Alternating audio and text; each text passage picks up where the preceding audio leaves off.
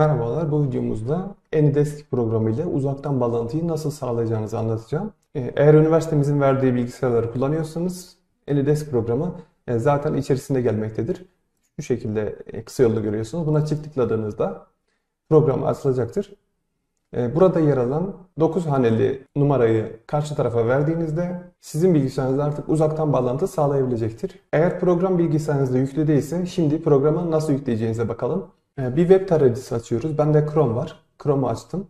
E, Google üzerinden AnyDesk yazdık, arattık. E, Burada AnyDesk'in kendi web sayfası çıkıyor. Buraya girdik. Adres çubuğunda anydesk.com olduğundan emin olunuz. Daha sonra Download Now butonu görüyorsunuz. Buraya tıklıyoruz.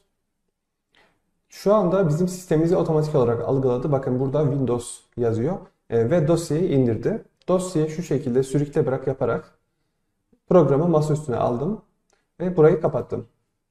Şimdi programı açabilirim. Programı açtığımda bana numara veriyor. E, programı bu şekilde yüklemeden kullanabilirsiniz. Ama eğer programı yüklemeyecekseniz e, bu dosyayı ve şu dosyayı, şu iki dosyayı silmemeniz lazım. E, benim önerim programı yükleyin. Yükleme işleminde nasıl yapacağız? Şurada bakın AnyDesk'i yükle bu bilgisayara kur diye bir buton görüyorsunuz. Bu butona tıkladığınızda e, buralara karışmıyorsunuz. C diskine kuruyor burada. Tamam. E, yapmanız gereken burada kabul et ve yükle tuşuna basmak. Bastık. Bir uyarı penceresi açılıyor. Buna evet diyoruz. Evet şu anda AnyDesk programı bilgisayarımıza yüklendi. Bunu kapattık.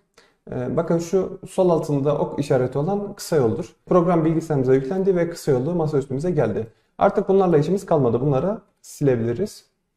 Programı açmak için buraya çift tıklıyoruz.